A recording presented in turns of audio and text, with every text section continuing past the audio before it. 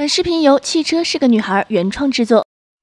今天讲的这款车是一台硬派六轮越野，不是奔驰 G63、AMG 6X6，这是最贵的几款超跑越野之一——乔治巴顿战斧。这款车的原型其实是牧马人加强版，将尾部改装成了一个密封的皮卡货斗，加了一组后桥，成为了六驱车。这款车其实是专门为中国市场设计而生产的。从外形来看，五千六百九十毫米、一千八百八十毫米、一千九百三十毫米的尺寸是绝对的巨无霸。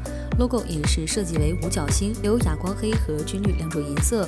这款车身高差不多两米，上车的时候需要借助自动踏板。车轮胎达到了三十五英寸，非常霸气。最有特色的是这款车的灯光，这款车的大灯可以用手机控制亮度，并且在挡风玻璃上方有一百颗 LED 灯。内饰也走的是金属粗犷风，包括中控台、方向盘和挡杆都有金属包裹。还有很有特色的，但要对比其二百三十五万的售价的话，还是显得不够。动力方面，采用的是一台3.6升 V6 发动机和 RIPP 增压机，马力最高可以达到450匹。虽然看起来这款车还不错，但是从2016年来到中国还是没人买。